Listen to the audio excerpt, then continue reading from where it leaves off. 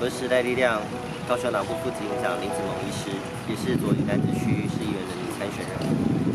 今天是高雄的二二八纪念日，那但是大家要知道，二二八事件并不是一天而已。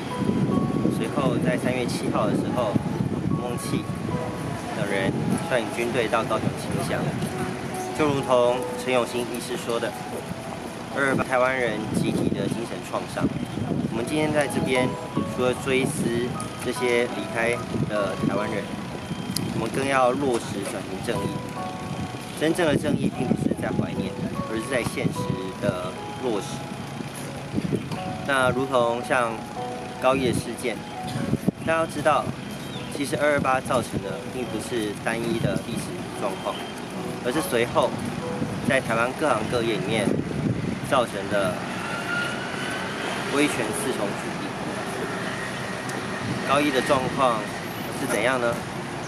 在七十年前，哦，彭孟七进行大屠杀的时候，曾经有一段记录，是彭孟七在决定要释放人，或者是把这个人关押起来的时候，都一定会询问当时在高雄地区士绅陈其川，到底过程怎样，我们已经不知道了。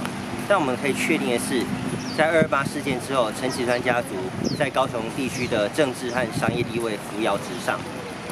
到现在，他们之间到底是做了什么样对话，依然是一个谜团。我们需要把这段真相还原。在各行各业里面也都一样。我们希望今年二二八七十一周年，到明年七十二周年、七十三周年的时候，我们台湾人可以知道更多当时的原因，并且在未来。防止这些悲剧再度发生。谢谢大家。也希望彻底转型正义就对了哈。对。